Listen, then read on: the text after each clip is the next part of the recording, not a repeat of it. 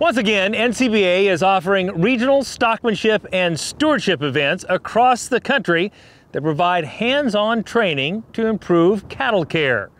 These clinics are led by a great team of experts, and this year, Dean Fish, manager for the Santa Fe Ranch in Arizona, has been added to the lineup. Kate Maher had a chance to talk with Dean about his passion for educating cattle producers. Thanks, Kevin. Uh, we had the fortunate opportunity today to talk to one of the true industry leaders uh, in cattle handling and facilities design, Dean Fish. Um, Dean, you put on a lot of demonstrations across the country every year. What are some of the key topics that you want producers to take away from these demonstrations in terms of, of cattle handling?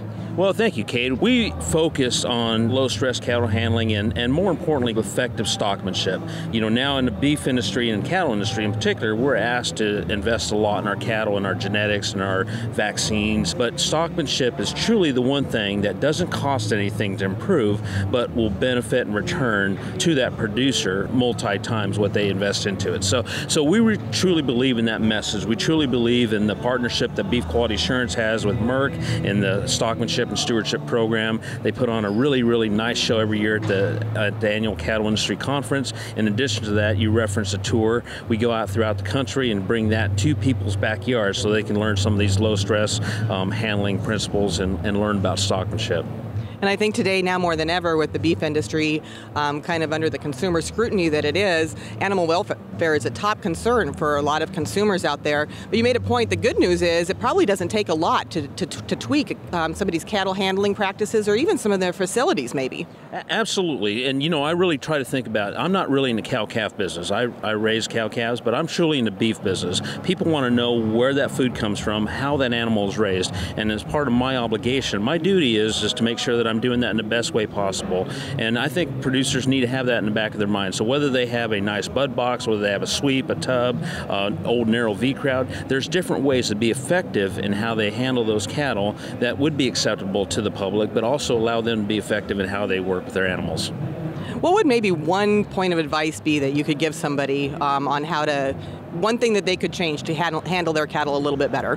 One of the things that was key for me to learn is to know when to apply pressure, but know when to release that pressure. So that release is so important. That's the reward that that cow or that horse get for doing a good job. And so the proper application of that pressure, but also the proper release of that pressure is, is key. If you go to a Ron Gill or Kurt Pate session, they'll talk about different types of pressure. We can put a driving pressure, and that's usually our presence in that flight zone where that cow will want to move away. Um, and again, it's usually our presence. We're trying to use minimal or no noise. We're trying to use minimal or, or no flags and, and certainly not um, hot shots and so forth. Um, but the calmer we are and the better that we're able to apply that pressure with our presence, um, the better job that we'll do. And again, understanding how we relieve that pressure is, is also the second key part of that. And you know, we are all in the beef business, whether you have 10 head of cattle or 10,000 head of cattle. Everybody's situation is a little bit different. In terms of cattle um, handling facilities and facility designs, what's some things that producers can do that maybe aren't necessarily high cost that can improve some of their,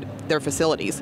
Right, there's some there's some really neat things, um, and most important is, is thinking about where do cows hang up in your facility, and so finding out why that is. Maybe it's a shadow, maybe it's um, a distraction that they're having, um, maybe you're pushing too hard, or, or or whatever it is, and try to figure out those little things that can make a difference in the way cattle flow. So find out where those little log jams are, and then try to correct those. There's some great resources on the Beef Quality Assurance website. There's a wealth of knowledge and, and resources out there, free of cost for producers to go and look and try to make those little tweaks that'll make it go a little smoother for them. Excellent. Thanks, Dean, for your time today. Thanks for the expertise that you bring to this industry as well. You, as Dean mentioned, a lot of online resources, and there's some stockmanship and stewardship events coming probably to your part of the country, so be sure to check out our website, stockmanshipandstewardship.org, for those.